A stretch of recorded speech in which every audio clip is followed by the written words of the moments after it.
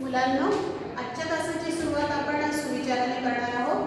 तर आजचा सुविचार असा आहे भव्य विचार हा सुगंधासारखा पसरतो तर भव्य विचार म्हणजे आपली चांगली वागणूक आपले चांगले विचार हे फुलांच्या सुगंधासारखे पसरतात. जसं फुलांचा सुगंध लपून राहू शकत नाही तो दूरपर्यंत पसरतो तसंच आपले चांगले विचार आपली चांगली वागणूक ही सर्वांपर्यंत पोहोचते. तर हा आपला असा सुविचार झाला आहे. आता आपण आज नवीन पाठाला सुरुवात करणार आहोत. मागच्या पिरियडला आपण काय बघितलं होतं की एक चित्रकथा बघितली होती. त्यामध्ये हत्तीचे चातुर्य होतं. आणि आता आपण पाठ क्रमांक चार ही पिसे कोणाची? हा पाठ बघणार आहोत. ही एक छोटीशी गोष्ट आहे. तर पिसे म्हणजे पक्ष्यांना पक्ष्यांचे पंख तुम्हाला माहिती आहे. पिसांचे बनलेले असतात. हो ना? त्या पक्ष्यांची ओळख ही त्यांच्या पिसांपासून आपल्याला होते. जसं आपण हिरवं पीस दिसलं तर आपण म्हणतो की ते पोपटाचं आहे. काळं पीस दिसलं तर आपण ते कवळ्याचं असं समजतो. पांढरं असेल तर चिमणीचं. आणि सर्वात सुंदर जे असतं ते मोराचं. असतं ना सुंदर. तर मोराची पिसं ही सर्वात सुंदर बनवल्या गेली आहे अगदी मोराचं पिसं तुम्ही जेव्हा बघाल तेव्हा असं वाटतं की असंख्य डोळे त्याच्यावर लावले. इतकं सुंदर पीस मोराचं बनलेलं असतं. तर मोराचं पीस तर सगळ्यांना पटकन ओळखूच येतं. आम्ही लहान असताना आम्ही मोराची किसं नवीन पुस्तकात ठेवायचो बरं का? तुम्हाला पण ती सवय असेल कदाचित तुम्हाला पण आवडत असेल तर अशा पद्धतीची पिस ही त्या पक्ष्यांची ओळख असते. तर आता आपण एक छोट्या मिनूची गोष्ट बघणार आहोत. यामध्ये तिला दोन पिसे सापडतात.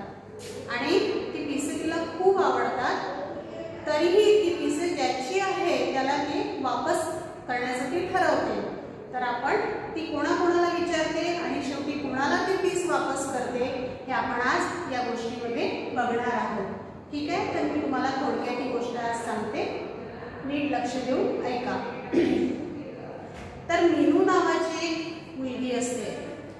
आणि ती शेतामध्ये म्हणजे गावात खेड्यात राहत असते. खेळता खेळता खेळता खेळता ती बरीच दूर निघून येते शेतात शेताकडे. तुम्हाला माहिती गावामध्ये वाहनं नसतात गाड्या मोटार सतत चालू नसतात शांत असतं सगळं त्याच्यामुळे मुलं बिनधास्त खेळत असतात. तर तशी ती खेळता खेळता दूर निघून येते आणि तिला रस्त्यात दोन पिसे मिळतात. तर ती पिसे तिला खूप आवडतात पण ती ठरवते की नाही हे पीस ज्याचं असेल त्याला मी हे वापस करणार. म्हणून ती विचार करते पण हे पीस आहे कोणाचं आणि मी कोणाला वापस करू? तर समोर चालत जाताना तिला सुरुवातीला एक कोंबडी दिसते. ती कोंबडीला विचारते कोंबडी काही ही पीस तुझं तर नाही ना? तर कोंबडी म्हणते नाही ग हे माझं नाही आहे कोणाचं आहे माहिती नाही आणि कोंबडी आपल्या खुराड्यात निघून जाते मुलांना खुराडा म्हणजे कोंबडीचं घर जसं आपण राहतो त्या जागेला आपण जसं घर म्हणतो त्याचप्रमाणे कोंबडी जिथे राहते तिला कुराडा असं म्हणतात. तर ती कोंबडी आपल्या कुरड्यात निघून जाते. परत मेनूला विचार पडतो की आता ही पिसे कोणाची असते? मी कोणाला विचारू? म्हणून ती थोडी आणखी समोर जाते.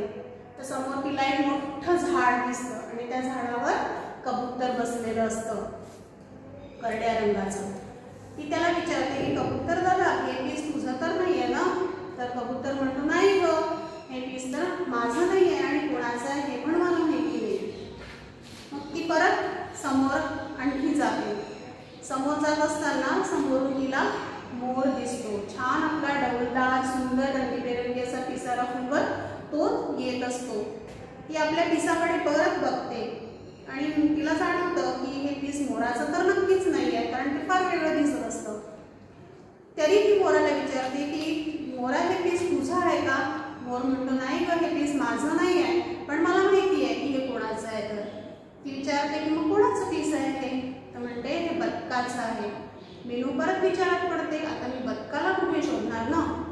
म्हणून मग ती त्याला म्हणते की तुला बदकाचा पत्ता माहिती असेल तर मला सांग. तर मोर म्हणतो की तिकडे तळ्याकाठी दाट झाडी आहे तिथे बदकं असतात तिथे जाऊन विचार. तर ती परत चालत चालत बदकाच्या तिथे जाते बदकाजवळ नदी किनारी. आणि बदकाला आवाज देते दाट झाडीतून बदक बाहेर येतो. आणि ती बदकाला विचारते बदक दादा हे तुझं पीस आहे का रे? तर बदक म्हणतो हो मी हो, हे तर माझंच आहे. आणि ती त्या बदकाला तिचं खूप कौतुक वाटतं की बापरे एवढे दोन पीस माझे देण्याकरता की इतक्या लांब आली. आणि तो म्हणतो की मीरू हो, हे पीस जरी माझं असलं तरी हे पीस मी घेऊ शकत नाही कारण आता मला याचा काहीही उपयोग नाही.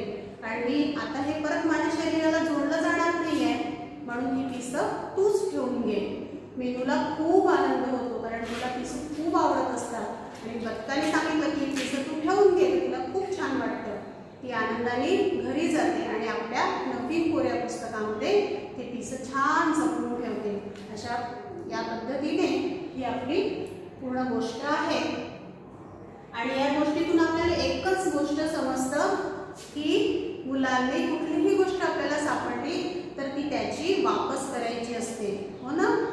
आणि तुम्ही पण ते करता मला माहिती आहे. तुम्हाला क्लासमध्ये कुठली पेन्सिल पेन चांगलं पेन जरी सापडलं तरी तो तुम्ही वापस करण्याचा प्रयत्न नक्कीच करता. नाही तर तुमच्या टीचरजवळ ते जमा करता तुम्ही आपल्याजवळ ठेवत नाही हो ना?